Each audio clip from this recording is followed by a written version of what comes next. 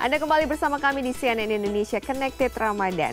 Ada banyak tradisi dalam merayakan Ramadan di berbagai negara, termasuk juga di negara asal pesepak bola Lionel Messi, Argentina. Nah, untuk mengetahui serba-serbi Ramadan di sana, sudah terhubung bersama kami melalui sambungan Zoom Sekretaris Kedua Penerangan dan Ekonomi KBRI Buenos Aires, ada Mas Haji Pratama. Selamat pagi Mas Haji, waktu Indonesia. Apa kabar? Selamat Selamat pagi Mbak Mai, kabar baik. Semoga di Jakarta, di Indonesia juga baik-baik saja. Baik-baik saja, Alhamdulillah ya Mas ya. Nah Mas Haji, ini perbedaan dalam menjalani Ramadan antara di Indonesia atau di tanah air dengan di sana, apa sih yang paling terasa? Baik, terima kasih nih Mbak Mbak Mai. Memang yang paling terasa adalah suasananya ya. Kalau di Indonesia memang mayoritas itu adalah uh, beragama Islam ya, Muslim. Sehingga tradisi Lebaran uh, maaf tradisi puasa itu sangat terasa di Indonesia seperti buka puasa bersama, ada sahur on the road maupun juga pengajian-pengajian itu sangat terasa di Indonesia. Nah di Argentina sendiri ini mayoritas bukan pemeluk agama Islam ya sehingga memang dari sisi tradisi uh, berpuasa di bulan Ramadan itu memang sangat jauh berbeda dengan di Indonesia. Nah, eh, dari jamnya sendiri itu tidak banyak berbeda karena untungnya di sini adalah musim gugur ya. Musim gugur ini peralihan antara musim dingin dengan musim panas. Jadi kami berpuasa di sini tidak banyak berbeda dengan Indonesia 12 jam. Jadi kami sahur itu mulai jam biasanya kita setengah enam mulai sahur jam 6 subuh lalu kita berpuasa itu setengah tujuh jadi bahkan lebih pendek daripada di Indonesia Oke, nah kalau tadi kan uh, Mas Aji mengatakan bahwa suasananya memang sangat berbeda gitu. Ada nggak kegiatan yang diadakan oleh KBRI untuk WNI Muslim di sana supaya suasana, mungkin suasana tanah air lebih terasa gitu di sana? Ada, ada Mbak Mbak Anita. Kayak misalnya seperti uh, hari Jumat kemarin ya, hmm. hari Jumat kemarin di kedutaan itu kami mengadakan acara buka puasa bersama ya. Kenapa kami mengadakan acara buka puasa bersama? Karena memang kondisi pandemi di Argentina ini sudah sangat membaik. Jadi kegiatan-kegiatan yang dulu dilakukan secara virtual sekarang sudah bisa dilakukan secara presensial. Termasuk salah satunya yang kita lihat sama-sama ini buka puasa di kedutaan. Nah, buka puasa ini diawali dengan tausiah uh, puasa ya. Kami mengundang Ustadz yang tidak berada di Indonesia waktu itu berada di Malaysia, Kuala Lumpur, dan kita melakukannya dalam bentuk hibrid. Jadi ada yang kami melakukan dalam bentuk virtual, tausiah, ya, dan ini juga mengundang masyarakat Indonesia tidak hanya di Argentina, tetapi juga di Paraguay dan Uruguay yang menjadi negara eh, bagian negara kami bertugas, dan juga negara-negara lain di Amerika Latin yang memang untuk mendapatkan tausiah semacam ini juga tidak tidak sering ya. Nah, lalu yang kedua, setelah tausiah kita melakukan buka puasa bersama. Nah, ini presensial, kami juga mengundang masyarakat Indonesia yang ada di Buenos Aires dan sekitarnya. Dan karena memang acara buka puasa ini dimaksudkan untuk meningkatkan keguyuban, mempererat silaturahmi, kami juga mengundang tidak hanya masyarakat Muslim, tetapi juga kami mengundang komunitas non-Muslim untuk bergabung bersama kami ikut merasakan suasana Ramadan di Argentina. Nah, tentu buka puasa itu kami me me menyajikan makanan-makanan yang khas banyak disajikan di Indonesia. Seperti kalau dilihat di sini ini ada sotomi. Ini langsung dibuat oleh Ibu Duta Besar.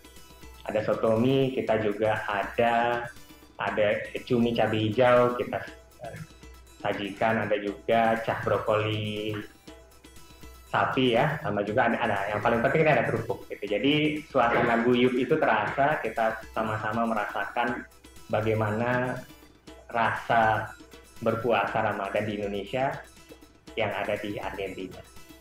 Oke, tentunya ini sebuah kabar gembira yang dinanti-nantikan bahwa yang tadi sebelumnya pada saat uh, pandemi lagi parah-parahnya mungkin ya kegiatan segala macam nggak bisa dilakukan secara langsung, semuanya dilakukan secara virtual, tapi akhirnya bisa berkumpul bersama-sama seperti ini. Nah, kalau berbicara mengenai status pandemi di sana nih, Mas, apakah seperti kegiatan ibadah tarawih atau mungkin kegiatan di luar ruangan itu sudah bebas gitu bisa dilakukan? Ya, alhamdulillah Eh, di Argentina ini kondisi pandemi, situasi epidemiologis ini sudah sangat membaik ya. Jumlah kasus untuk negara Argentina ini populasi 44 juta jiwa ya. Tetapi per hari itu hanya kurang dari 1000 kasus baru. Begitu juga jumlah korban jiwa itu hanya hitungan belasan gitu ya. Kenapa demikian? Karena vaksinasi di Argentina ini sudah berjalan secara sangat masif.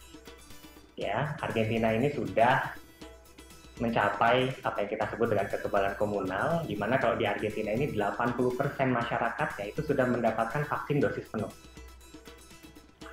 40% itu bahkan sudah mendapatkan vaksin booster atau dosis ketiga. Dan bahkan sekarang pemerintah ini sudah mulai membuka pemberian vaksin dosis keempat bagi kelompok masyarakat yang rentan seperti lanjut usia atau mereka yang punya riwayat komorbid ya atau mereka yang berada di garda depan uh, apa pengentasan COVID-19 gitu ya. Jadi uh, karena vaksinasi yang berjalan sangat masif, maka kegiatan di Argentina ini sudah sangat terbuka. Ya, bahkan kalau di luar ruangan itu sudah tidak lagi diharuskan memakai masker. Mm -hmm. Ya kita bisa orang-orang masyarakat itu berjalan tanpa masker ya. Oke. Okay. Kelas-kelas yang virtual sekarang sudah presensial dan kemarin itu ada konser. Kemarin itu ada konser. Maroon 5 datang kemarin 50 ribu uh, penonton ya wow. memadati. Mm -hmm. Mm -hmm.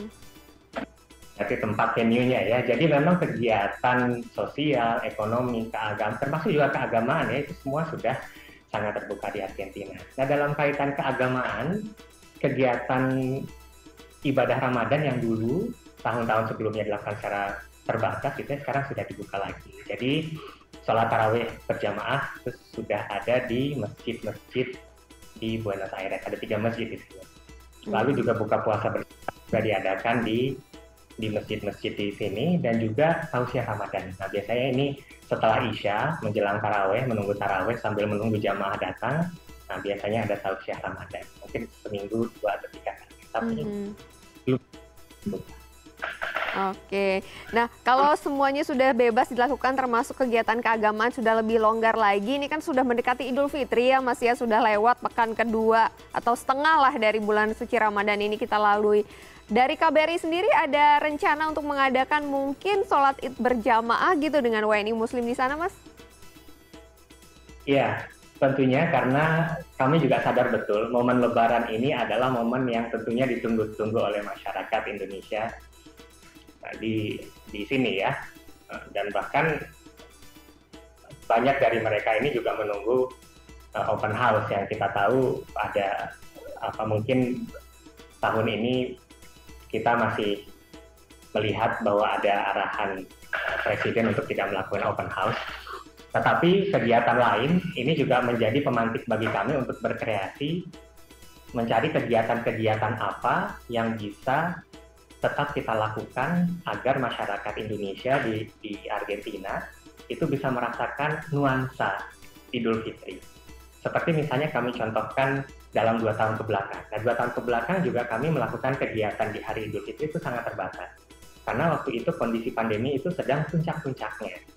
Nah, kita melakukan ibadah sholat Idul Fitri itu dalam bentuk hybrid gitu ya. Jadi kita awali dengan sholat Idul Fitri dari masing-masing kediaman gitu ya. Tetapi setelah sholat Idul Fitri, masyarakat Indonesia bisa menyaksikan khutbah Idul Fitri yang disiarkan secara secara live melalui video conference itu dari Wisma Duta. Begitu juga dengan dua tahun belakang itu karena tidak ada open house ya, masih masih terbatas tahun ke belakang.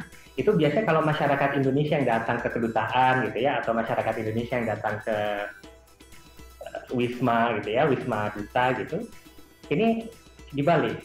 Jadi ibu duta besar langsung yang mengunjungi masyarakat, Indonesia di Buenos Aires dan sekitarnya. Jadi ibu duta besar bersama juga para diplomat itu mengantarkan selain mengucapkan ucapan Lebaran ya Idul Fitri juga mengantarkan makanan-makanan khas Lebaran yang sangat pasti dirindukan oleh masyarakat Indonesia yang ada di sini seperti opor, ketupat, pat sayur, dan ada rendang juga dan alhamdulillah kegiatan semacam itu mendapatkan apresiasi yang tinggi dari masyarakat. Nah tahun ini kita juga uh, kembali akan memikirkan bagaimana agar nuansa Idul Fitri khas Indonesia juga terasa di sini. Oke, nah kalau sebagai negara yang tadi Mas Aji katakan bahwa uh, Argentina itu bukan negara yang mayoritas Muslim begitu ya Mas ya. Lalu ada nggak sih aturan dari pemerintah atau kebijakan tertentu gitu dari pemerintah Argentina terkait dengan ibadah puasa yang sedang dijalani warga Muslim di sana? Eh, tidak ada, tidak ada ketentuan khusus. Pada prinsipnya pemerintah di sini itu uh, sangat menghargai keberagaman dan kebebasan masing-masing umat untuk menjalankan uh, ibadahnya. Jadi kami bisa melakukan ibadah dengan leluasa.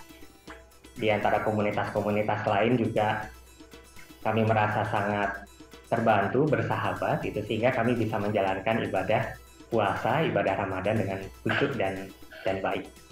Oke, mungkin terakhir Mas Aji harapannya apa nih di Ramadan tahun ini? Baik, tentunya di masa pandemi ini pemulihan pandemi ya. Uh, mudah-mudahan uh, ke depan gitu ya, ke depan pemulihan kita pasca pandemi ini dapat berlangsung dengan baik dan semoga Ramadan ini membawa kebaikan dan berkah untuk kita semua. Kami rasa begitu Mbak Maya. Baik, terima kasih banyak Mas Aji Pratama untuk waktunya berbagi bersama kita di CNN Indonesia Connected Ramadan hari ini. Lancar-lancar puasanya insya Allah sampai lebaran nanti. Sekali lagi terima kasih atas waktunya Mas Aji, selamat pagi. Pagi. Terima kasih.